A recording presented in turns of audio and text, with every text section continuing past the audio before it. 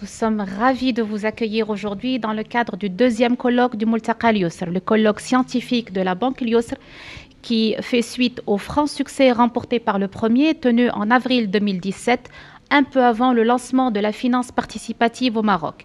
Alors nous sommes très ravis aujourd'hui de la participation d'imminents euh, d'éminentes personnalités euh, qui viennent nous faire l'honneur aujourd'hui de tracer un peu l'évolution de la finance participative euh, au Maroc et qui viennent nous, euh, nous faire profiter aussi d'expériences étrangères dans le domaine.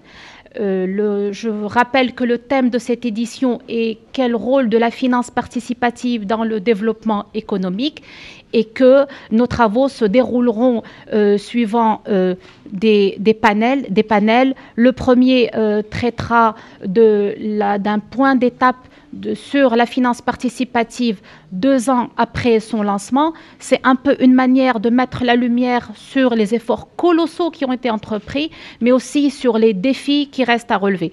Le deuxième panel, lui, va faire un peu l'inventaire de tous les produits à destination de l'entreprise, des produits donc participatifs à destination de l'entreprise. Et nous aussi, nous ferons un peu le bilan et nous ferons le point sur les produits qu'offre Banque pour l'entreprise marocaine.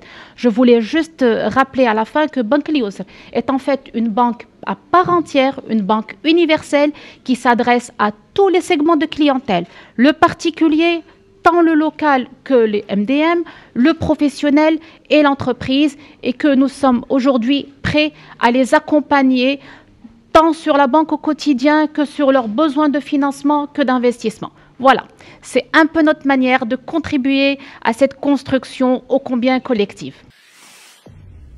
Pour suivre toute l'actualité d'EcoActu.ma, inscrivez-vous sur notre chaîne YouTube et rejoignez notre communauté sur Facebook et sur les autres réseaux sociaux.